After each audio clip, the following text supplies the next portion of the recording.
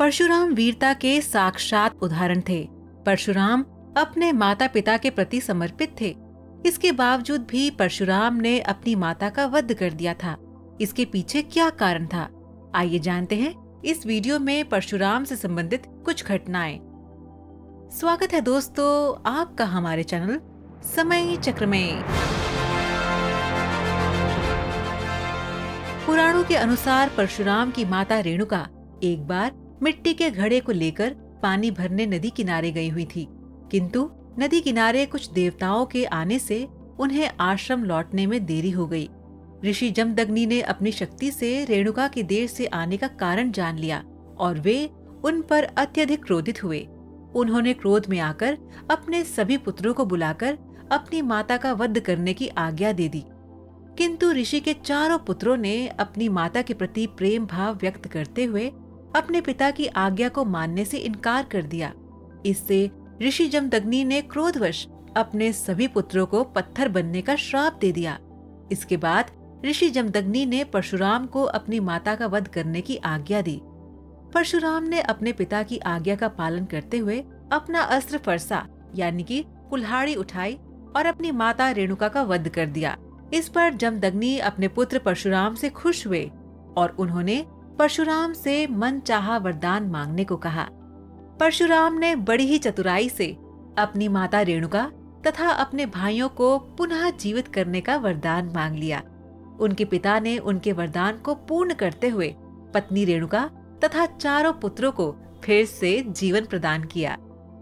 दर्शकों, इसके अलावा परशुराम से संबंधित एक और घटना बहुत ही प्रचलित है। ये वो घटना है जब परशुराम ने तोड़ा था श्री गणेश का एक दांत। तो आखिर उन्होंने ऐसा क्यों किया था?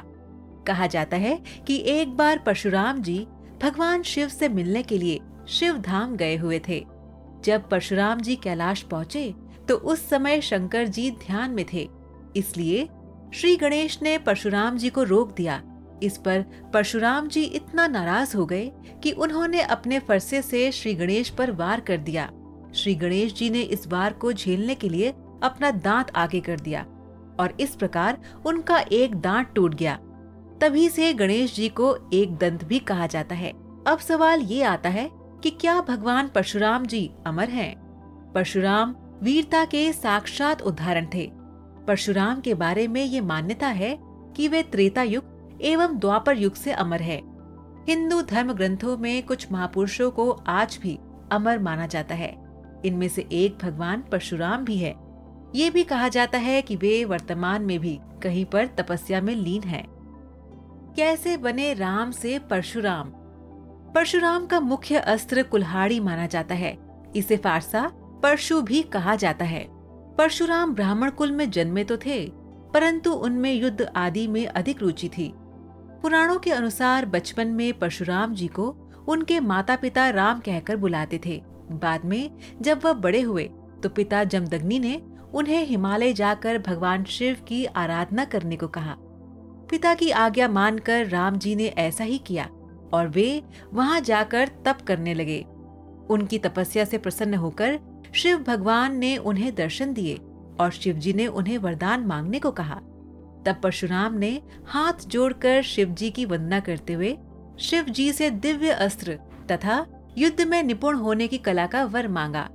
शिवजी ने परशुराम को युद्ध कला में निपुणता का वरदान दिया।